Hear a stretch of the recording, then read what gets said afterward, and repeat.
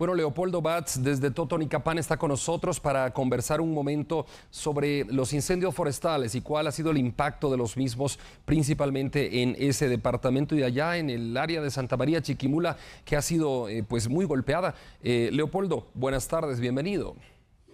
Gracias, Andy. Buenas tardes a toda la teleaudiencia también de Todo Noticias, TN23. Pues eh, bomberos forestales en Totonicapán han trabajado arduamente durante esta temporada seca que ellos le denominan debido a la cantidad de incendios que según las estadísticas que maneja el CONAP hay quíntuple eh, efecto sobre esta situación. Estamos hablando de 49 incendios forestales, 49 incendios forestales que han dañado 1.334 hectáreas, específicamente el área de Santa María Chiquimula, como lo comentaba Andri Específicamente este, este municipio que se encuentra en el corredor seco ha sido uno de los más afectados debido a que solo en este, en el bosque, específicamente en el área montañosa y boscosa de este municipio han sido afectadas 850 hectáreas de bosque.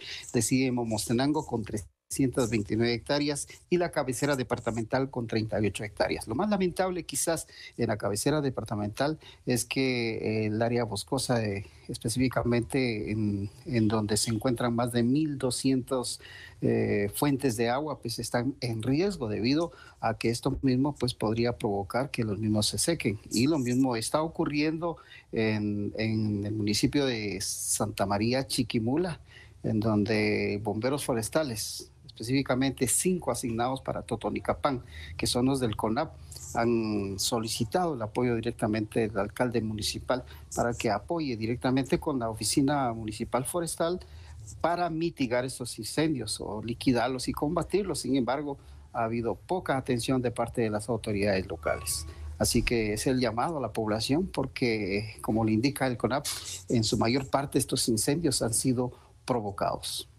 Leopoldo eh, Batz, eh, ¿cuántas personas eh, todavía podríamos hablar de que están en riesgo de ya no regresar a su vivienda porque las llamas consumieron parte de la misma? ¿Algunas personas, algunas familias quedaron sin casas o esto no sucedió en el área de Totonicapán en estos 49 incendios?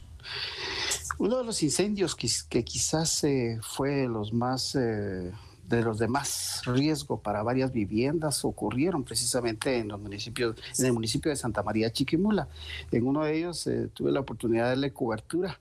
El momento que los estudiantes pues tuvieron que eh, salir del, establecimiento educativo, de un establecimiento educativo que era amenazado por las llamas. Afortunadamente, pues se logró ahí eh, una barrera de cortafuego, le llaman ellos, evitar que el mismo consumiera eh, este establecimiento educativo. No así en Aldea El Rancho, en Santa María Chiquimula, en donde eh, por tres días estuvo ardiendo el área boscosa de este sector, poniendo en riesgo a muchas viviendas en este sector. Afortunadamente, bomberos voluntarios informaron en su reporte de que no hubo necesidad de evacuar a ninguna familia o alguna vivienda cercana.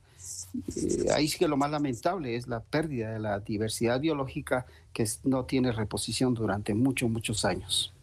Muchas gracias, Leopoldo Batz, por la información desde Totonicapán en relación a esta serie de incendios que se registró allá en ese departamento.